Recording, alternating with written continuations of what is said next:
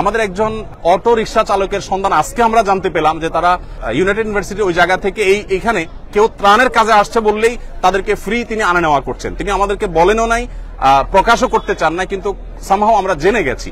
তো স্বতঃস্ফূর্ততা কতভাবে হতে পারে, কত ধরনের হতে পারে, সেটা আসলে আমরা আপনাদেরকে মানে বলে বুঝাতে পারব না যে মানুষ কতভাবে স্বতঃস্ফূর্ত ভাবে কাজ করতে পারে। এখানে সেটা এখানে চলছে।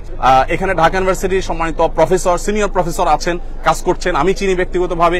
এখানে বাংলাদেশ সেনাবাহিনীর কর্মরত ব্যক্তিবর্গ, সদস্যগণ তারা আছেন, কাজ করছেন ছুটির দিনে। আবার এখানে কয়েকজন হিন্দু ধর্মাবলম্বী ভাইয়েরা কাজ করছেন। এবং আমাদের আজকে দুপুরের খাবার ছিল বিরিয়ানি। তাদের জন্য আমরা আলাদা খাবার প্রস্তুত করেছি।